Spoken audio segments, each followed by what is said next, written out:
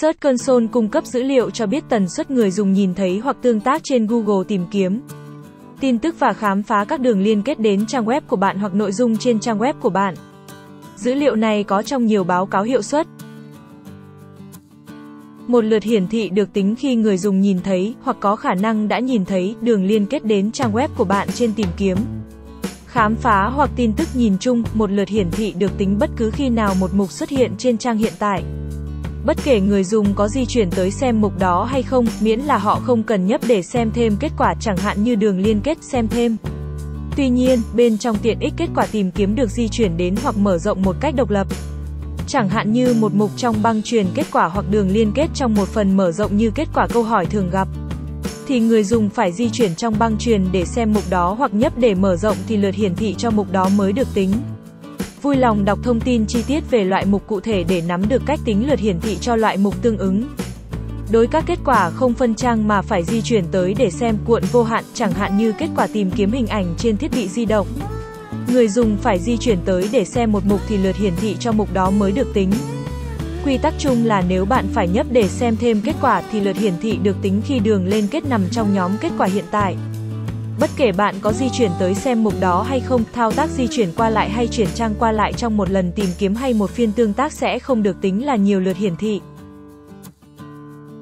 Vị trí chỉ được tính cho kết quả của Google tìm kiếm. Trang kết quả của Google tìm kiếm bao gồm nhiều phần tử kết quả tìm kiếm.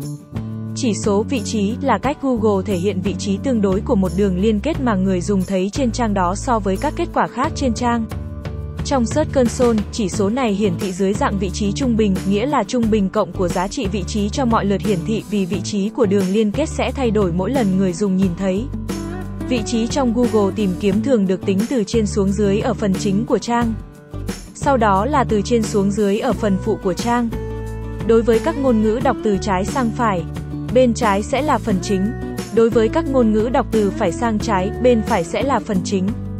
Xin lưu ý rằng phương pháp tính này có thể thay đổi trong tương lai, mỗi phần tử trong kết quả của tìm kiếm chỉ chiếm một vị trí duy nhất.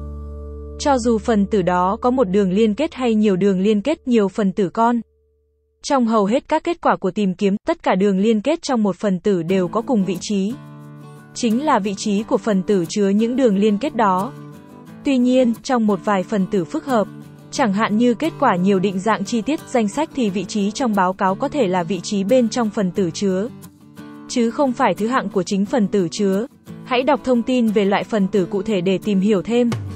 Nếu loại phần tử của bạn không được mô tả ở đây thì hãy mặc định rằng vị trí của phần tử cũng là vị trí của mọi đường liên kết trong phần tử đó.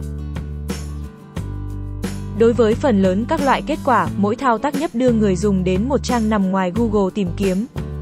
Khám phá hoặc tin tức sẽ được tính là một lượt nhấp, còn thao tác nhấp vào đường liên kết dẫn đến nội dung ngay trong nền tảng của Google thì không được tính là một lượt nhấp. Lượt nhấp vào nội dung em thường mở ra trình đọc em của Google và được xem là một lượt nhấp. Thao tác nhấp vào một kết quả tìm kiếm dẫn đến một trang bên ngoài sau đó quay lại để nhấp lại vào đường liên kết cũ cũng chỉ được tính là một lượt nhấp. Việc nhấp vào một đường liên kết khác được tính là một lượt nhấp cho mỗi đường liên kết được nhấp vào. Cảm ơn các bạn đã xem video, nếu có thắc mắc hãy liên hệ với Mr. Linh theo thông tin dưới mô tả video nhé.